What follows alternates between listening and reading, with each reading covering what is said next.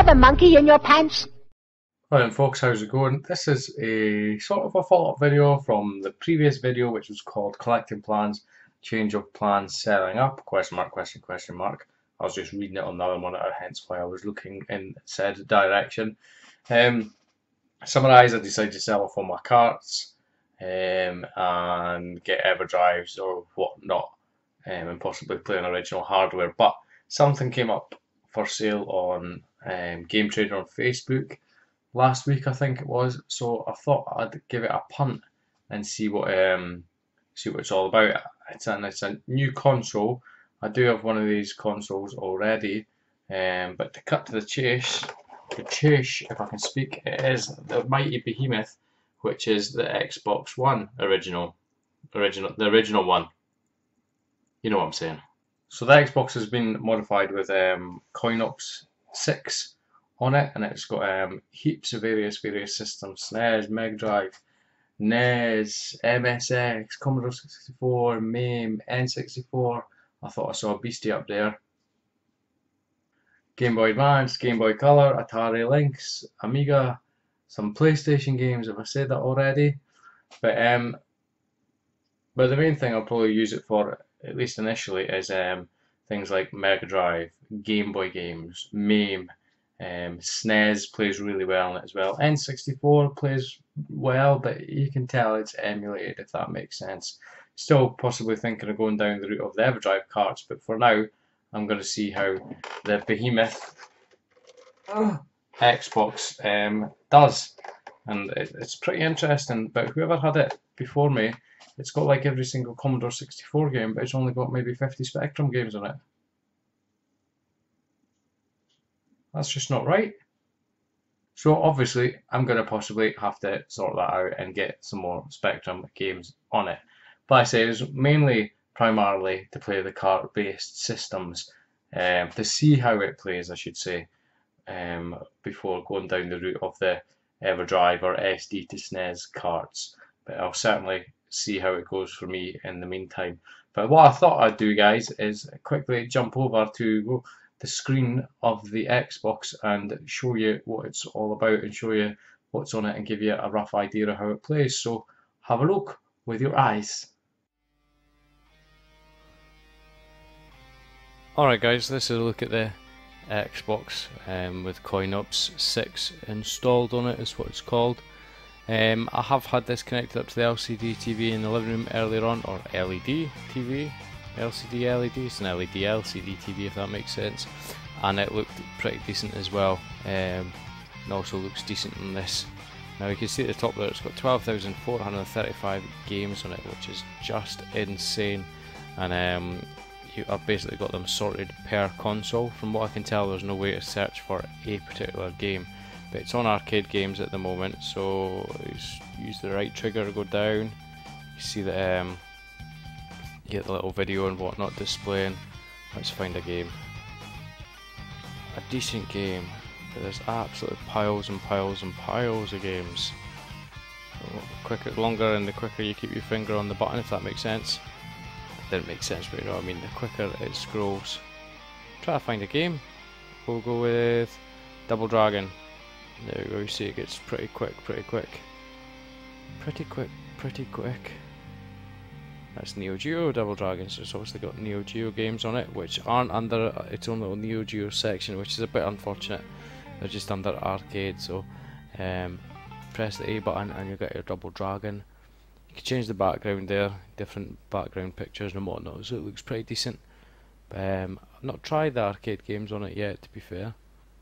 So we'll see how it goes. It's basically a MAME emulator, as far as I can tell. This game is for use in Japan.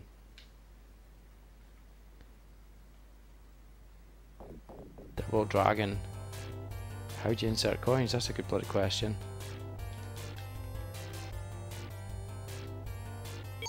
That's the insert coin button. There we go. Start.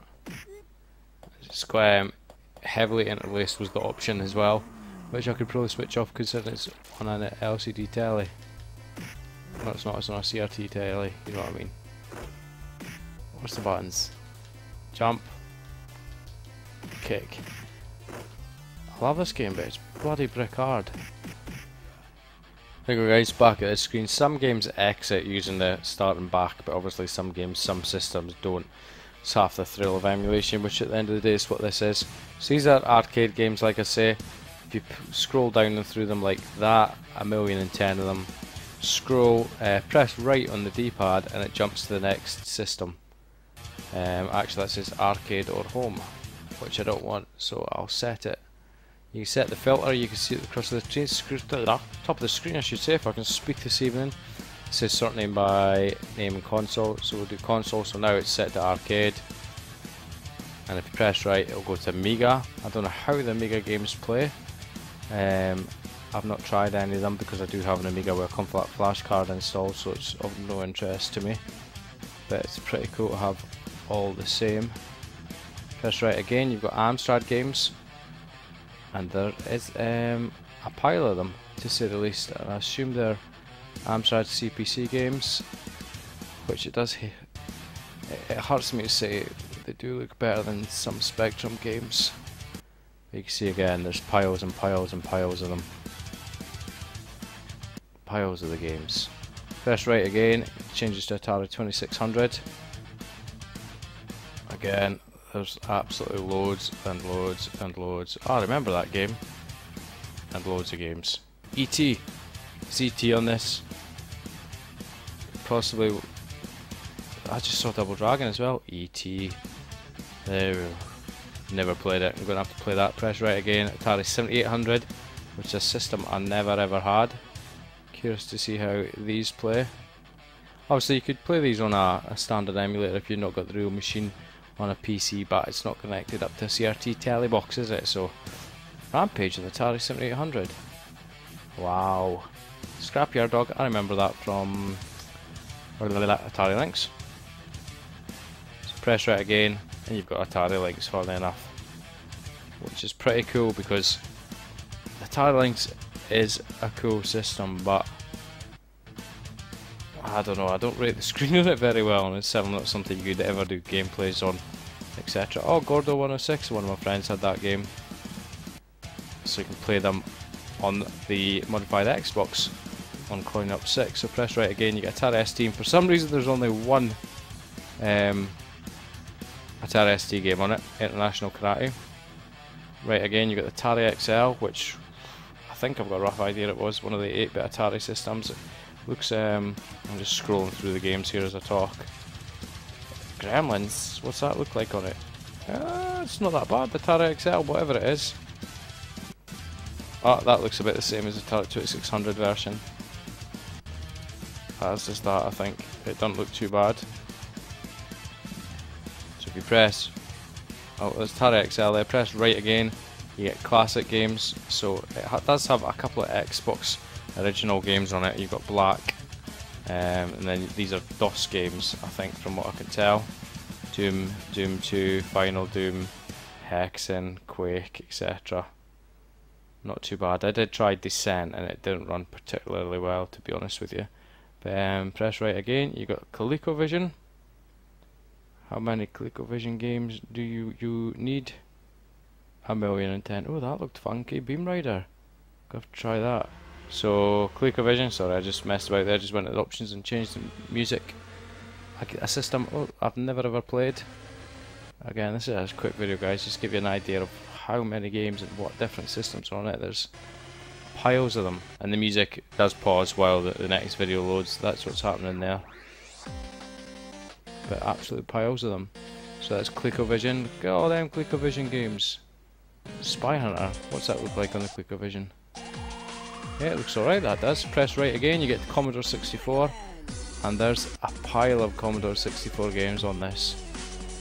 And I mean a pile. Look at all them. Loads.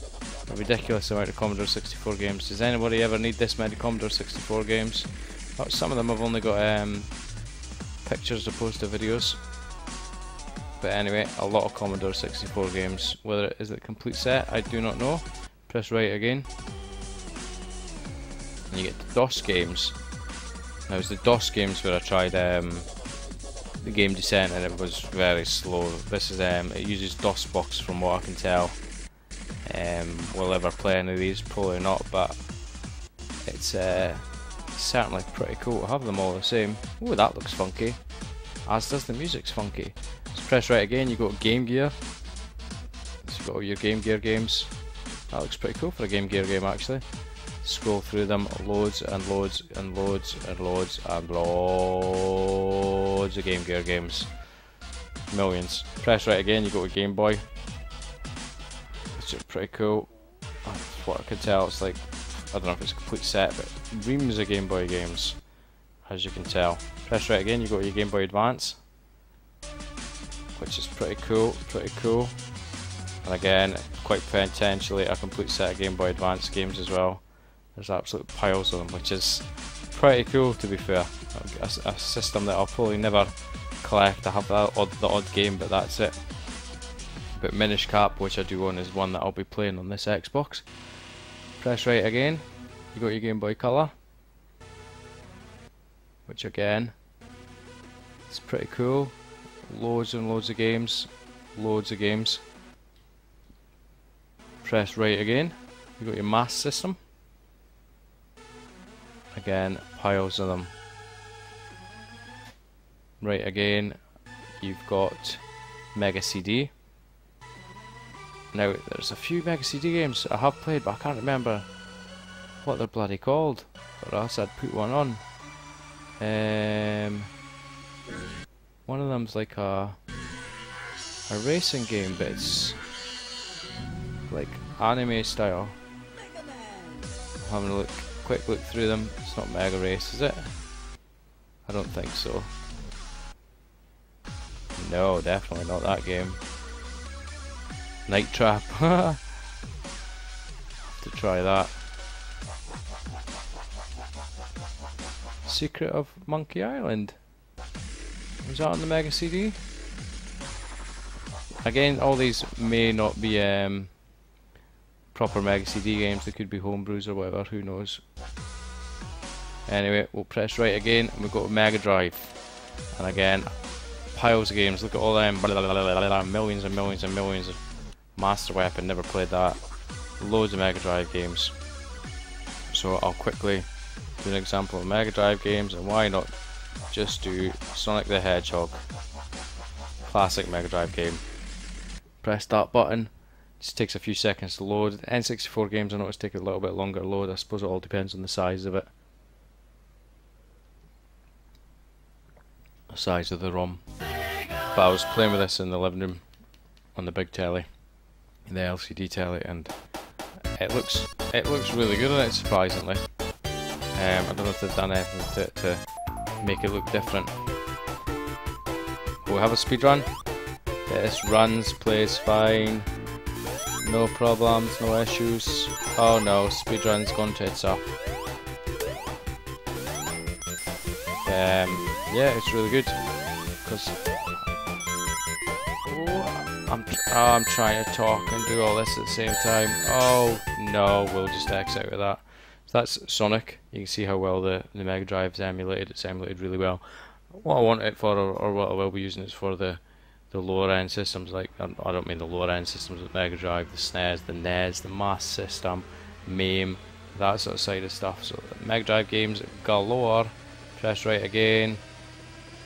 You got your 32X games. Never played any 32X games, so I'll be curious. I don't know if there's more than that. I know it was a bit of a failure. Maybe there's more 32X games. I do not know. You got MSX as well. It's an X system. So MSX again, games that I've never ever played. Um, Tony from Electric Adventures, an MSX guy, another great YouTuber. But ooh, that looks that looks blatantly like a Spectrum port. That does. But curious to try it. Look at all these MSX games because it's a system I've never ever seen. It's crazy, crazy. So MSX. If you press right, you just saw it going out there. Neo Geo Pocket, which again, that's pretty cool. Have all these games here. What's that? Gals Fighter. Meh, do not know what any of these games are. Right, again, you got your NES games. I'll put one on quickly so you can see how it plays. You'd expect it to play really well. Um, find a game. Nice. And the, yeah, so hard, really hard for you to tell, but it looks really, really good on the screen. Really nice graphics, really crisp. These are basically, these are basically the Final Fight guys, eh? But um, it does look really good. I was going to say, obviously, you've only got uh, two buttons, haven't you? Punch, punch and jump, with it being an S. It looks really good, actually, really good. Nice. You see, obviously, it plays really well as well, as you'd expect. Nice. It's another game called Ransom City or something like that. I'll have to try that. So I'll come with that. Let's give you an idea of how the NES games play. So if they think this is going on a bit, guys, but I thought I'd just show you the ins and outs of it if it's something that you think of doing if you've got an Xbox console kicking about yourself. So that's NES games. You can tell it's most probably a complete set there. There's absolutely piles of them. Press right again, you get to your N64 games. Um, seems to emulate it alright, but you can certainly tell it's emulated. And one game that's not on it is Blast Corps, which is what I wanted to play. Um, we will do, what will we do? We'll do Super Mario 64, just give you an idea. Everybody knows what Super Mario 64 should look like. There we go, Super Mario 74, no idea what that is, it's most probably a a homebrew or a ha ROM hack or something like that.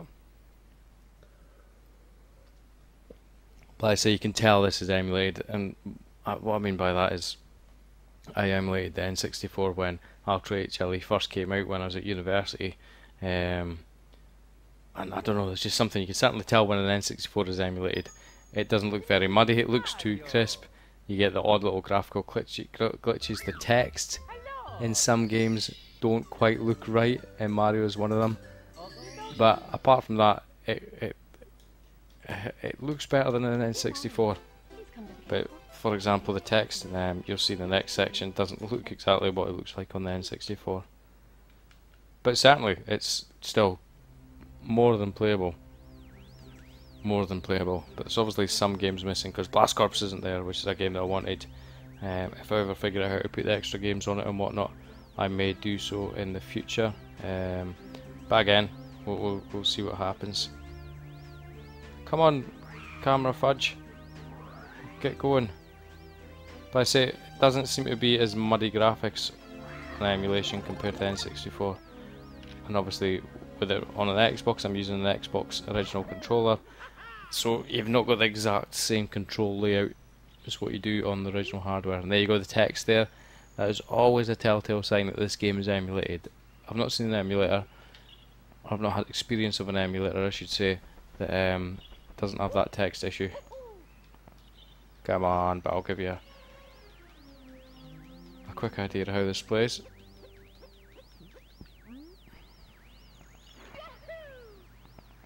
Mario 64. Love this game. In you go, son. We'll just quickly go into the first world.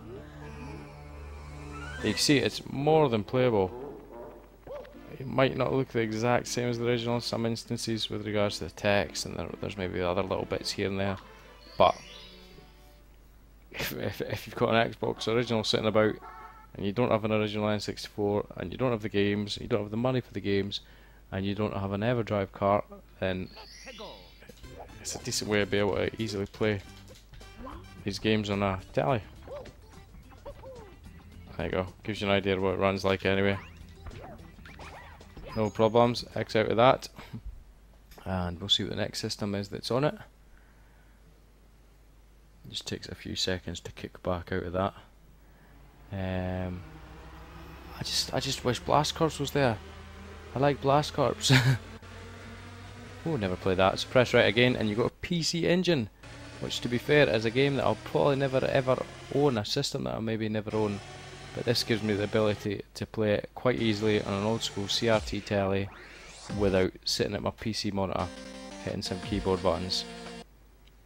There you go, it's pretty cool. And you've also got PC Engine CD. Um, a couple of games, I don't know how many PC Engine CD games there are, but there's a couple there. I'd imagine there is more than that. Next, after that, you got the PlayStation. Now, there are a couple of PlayStation games on it. Castlevania Symphony Night. Um, there you go, you can see them scrolling there. Tekken, and that's it. But what I've found is, especially while I play the Tekken games, it doesn't have the audio soundtrack. And the only reason I can think is because that takes up a lot of hard drive space.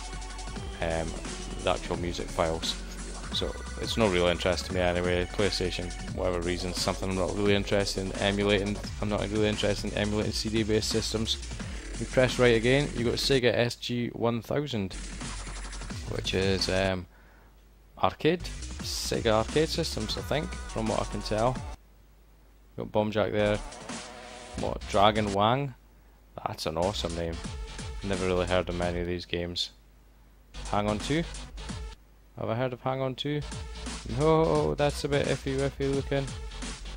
James Bond 007? Is it the James Bond 007 we know? No. Press right again and you go to Spectrum. Now, whoever set this up is obviously a Commodore 64 fan because there's hardly any Spectrum games on it, which is deeply upsetting. That's it, basically the end of Spectrum games. After that, you've got Super Nintendo. Super Nintendo plays as you'd expect. Um, no problems at all with emulation for what I've seen, and I think it's a complete set, as is the the Mega Drive, which is pretty cool. Clock Tower as well, nice. Press right again, you've got the VIC 20, and I would be lying if I said I knew what the VIC 20 is. Not some sort of Commodore based machine. I don't know, but again, um, well, there was only a couple of VIC 20 games actually. Then you go into the Virtual Boy, which is something that's pretty cool to have. Space Squash on the Virtual Boy. Press right again, you go to X68000. No idea what that is. Really? No idea what that is. Oh, that looks pretty cool. Press right again and you go to Xbox. It does have a couple of Xbox games on it. And that's it. So press right one more time and we'll go to the arcade. But there you go guys, that's a very, very, very, very quick look at CoinOps 6 running on my original Xbox. 12,000 games. Amazing. I'm going to have to figure out how to maybe stick the odd game on it that's missing, as well as um, Spectrum games. Because that's a very easy way to sit and play a Spectrum game rather than waiting on it loading. Um, emulating Spectrum games, they're nigh on identical to the real thing. They have been for a long time, and the fact that you're not playing on a PC monitor, you'd be playing on a CRT TV and you don't have to wait on any loading times either. There you go, we'll start that there guys. So, CoinOps 6 running my original Xbox. I was going to say one, but it's not one, you know what I mean. Right guys, so that was a, I was going to say a quick look, maybe it was a slightly extended look at um, my original X, I want to call it a fucking Xbox One, but I can't, can I? Damn you Microsoft. Um, original Xbox running CoinOps 6. Like I said, got this. Um, there is a guy on Facebook page that does these. Um, sells your machine as it is, but somebody else was selling one that he'd already done. Um, a guy had bought it from this chap who sets them up, and it was selling it on, and I decided to buy it from out of curiosity. But excuse me, I've got windy poops pops. It's um, it's it's quite interesting. For example, that the main games, the NES, the SNES, the Mega Drive, the Master System, Game Gear, um, PC Engine, Spectrum, Commodore 64, probably the MSX, um, all run perfectly fine on it. N64, you can certainly tell it's emulated, but um, if you can live with that, again, it runs fine with it. So you saw what was all on there, pretty impressive stuff. Going to try and stick the odd game on it that seems to be missing, and for the time being anyway, go with that. And um, obviously I mentioned EverDrive cartridges and whatever, I still may but I'm gonna I'm gonna go with that and see how it works out with me for a little bit before I jump in and throw 100 pounds, 150 pounds at an EverDrive cart for for example. Downside of it, obviously, um, emulation may not always be perfect, um, and also you're not playing with the original hardware controllers. But it's a curiosity, and I'm I'm seeing how it's gonna go, and um, yeah, see what I think of it. I'll give it a little bit of time as it is. But you never know, I may just jump on the bandwagon. On the bandwagon? What bandwagon? I didn't even mean to say bandwagon. You never know, I may just um, jump and get the EverDrive carts anyway and use it mainly for likes of MAME or Commodore 64, PC Engine, stuff like that. But it's pretty impressive to be fair, and if you do have a, a an original Xbox kicking about, um, I'd certainly look into doing it if it's something you're interested in. But it is what it is. It's emulation. Um, people have their views on emulation and whatnot, but yeah, it's not too bad for what it is on an Xbox original. If I'm really struggling to speak this evening, I can't be bothered to edit this. That's it, guys. Like I say, quick look at my Xbox original with the CoinOps 6 installed on it. As always, please feel free to like, comment, subscribe. And this is dropping frames like a bitch. Why is that? So that was a quick look at my Xbox original with CoinOps 6 installed on it. But as always, guys, please feel free to like, comment, subscribe, and I'll catch you next time. The fuck is this fucking thing all fucking... Do you have a monkey in your pants?